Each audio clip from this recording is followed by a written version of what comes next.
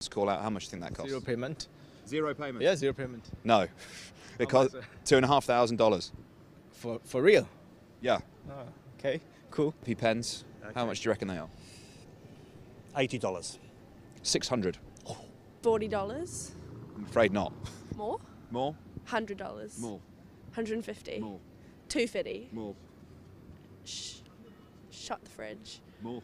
Three hundred pounds. Six hundred dollars. What? Why? That's a very good question. Six hundred dollars. Yeah. Cost of childbirth. Jesus. Um, fifty grand, something ridiculous now. Yeah, see, I've, I've blown I've blown the figures up on your head now, haven't I? Because yeah. they're larger. It's the highest, generally speaking, is about thirty grand. Oh, okay, okay. Uh, I Oh, say is that reasonable? You haven't not reasonable at all. it's just like now we're on like a, we're on a benchmark. A hundred, two hundred. dollars. Yeah. Uh, the average is about ten grand. It can go up to thirty thousand. Ten grand for a baby.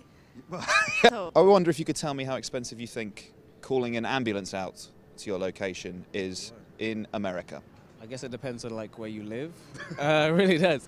Um, I can't is there a price for that? Yes, Jeez, um, a hundred dollars, two hundred dollars. two and a half grand. For what? Why? Why?